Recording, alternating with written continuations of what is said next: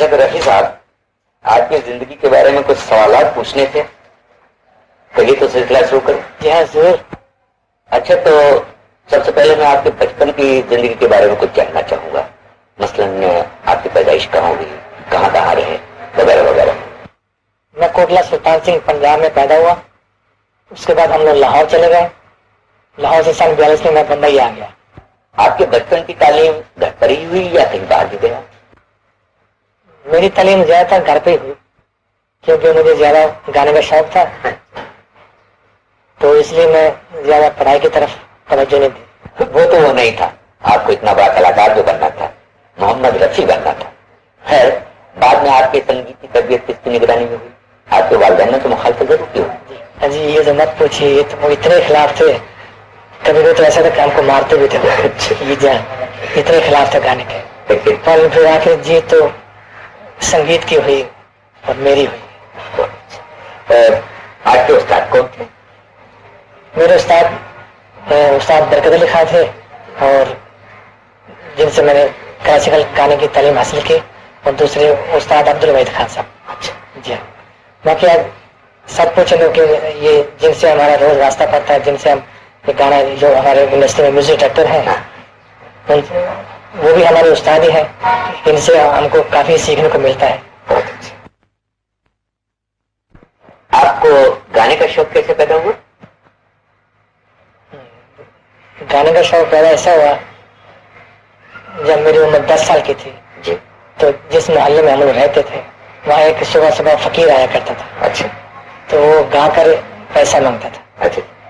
तो जब गाता था वो तो उसकी आवाज़ मुझे इतनी अच्छी लगती थी। तो मैं वो ज़्यादा चलता जा रहा था मैं उसके पीछे पीछे चलता मैं भी साथ साथ में चलता था।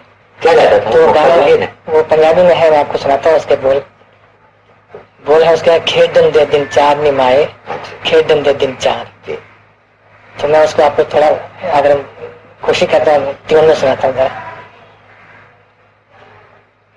खेडन दे दिन चार निमाए खेडन दे दिन चार